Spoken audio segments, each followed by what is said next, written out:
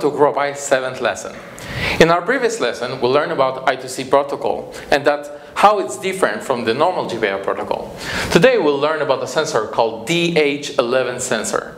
DH11 sensor is a sensor combined with humidity sensor and temperature sensor all in one. The DH11 sensor also uses the I2C protocol, which is not the normal use case for the GPIO. We'll learn how to control it using the Adafruit library, which is very, very easy to use.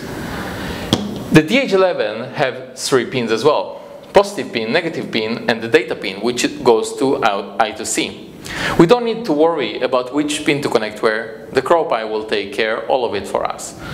So what can we get from it and what can we do? Let's go to our CrowPi and see. So we are back at our CrowPi now. Let's take a look at our DH11 sensor.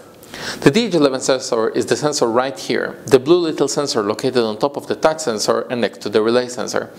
The DH11 sensor can not only calculate the temperature, but also the humidity, just like we mentioned before. So how do we control it? Let's take a look on into our Python script.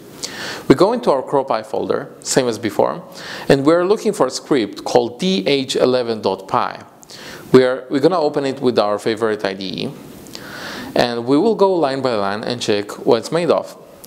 So the first thing to see is that we use two new libraries we haven't used before. The first one is the sys library, which using the system functions, for example, to quit the application or do other other operations related to the system. The second thing we import is Adafruit DHT library.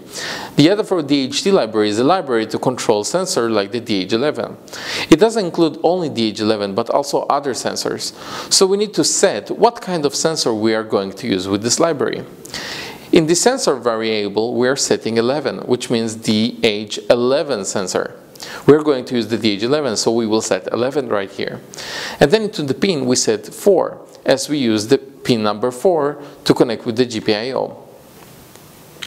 Then, we are checking with very, very easy to use API made by Adafruit if humidity is not none and temperature is not none means that if humidity is not zero and temperature is not zero means that we have something right here. Then print temperature, humidity, and put inside the data from the sensor using format function. If it's none, means something went wrong and we should try it again. You should never reach this point, but we just put the script just in case. So let's run and see what happens. Click the green button to execute the script. The script will take a moment. Here you can see the temperature in our room is 26 degrees and the humidity level is 69. Pretty high I'd say.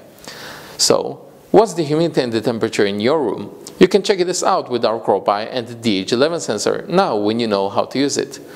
Hope you enjoyed the video and see you in our next lesson.